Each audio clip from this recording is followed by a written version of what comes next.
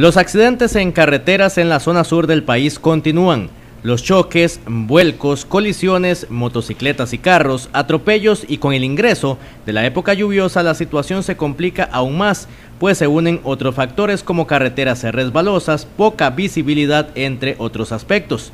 En el COSEBI dejan claro que siempre la parte humana a la hora de un accidente se antepone. Siempre, la verdad es que siempre cuando nosotros vemos, aún que haya de por medio una falla mecánica, hubo una falta de mantenimiento del vehículo, ¿verdad?, que llevó a esto. La verdad es que nosotros trabajamos diariamente para hacerle entender a las personas que es una cuestión de decisión personal. Cuando vos decidís infringir un límite de velocidad, cuando te vas al bar y consumís alcohol y luego coges tu moto o tu vehículo, estás optando por ser candidato a morir en carretera, ¿verdad? Es un trabajo diario por eso la educación vial desde muy corta edad se convierte en un aspecto que se tiene que fortalecer para cambiar la cultura y bajar la violencia que se vive en las carreteras.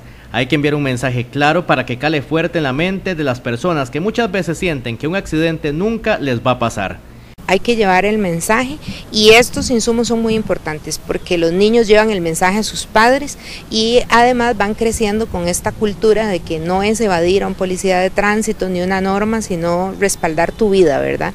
Entonces es un trabajo constante, no podemos parar, hay que seguirlo haciendo.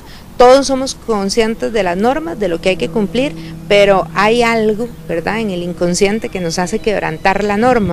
También dejan claro que el tema de la educación vial es día con día y nunca se puede dejar de lado. Pero nosotros día a día seguimos tratando de posicionar el tema y de concientizar que no hay ninguna persona que sobre en nuestro país como para que se someta a el riesgo de morir en carretera. En toda esta educación aparece una cifra que sigue en aumento y son los accidentes en moto. En la parte rural muchos elementos suben los índices de estos incidentes. He entendido que la motocicleta es un vehículo muy útil, pero que requiere de un grado de mayor responsabilidad por las características que tiene. De todas maneras, nuestras campañas y nuestros planes nacionales van orientados a eso y ojalá que esto sirva, va a tener un módulo específico que le enseñe a los chicos las responsabilidades para ver, porque en zona rural aún es más la cantidad de menores que andan en motocicleta, ¿verdad? Y el uso inadecuado de la motocicleta en general. Entonces, esto es un insumo importante para llevar el mensaje a la gente y tratar de educarlos desde pequeños. La educación en los niños es fundamental para disminuir la violencia en las carreteras. Pérez Celedón sigue en una lista preocupante cuando se habla de accidentes de tránsito.